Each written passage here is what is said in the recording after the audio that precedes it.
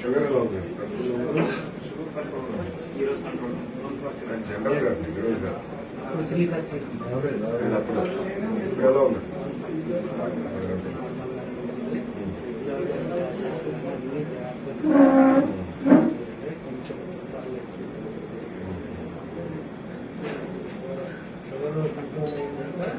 doctor గారు కూడా change చేశాం హాస్పిటల్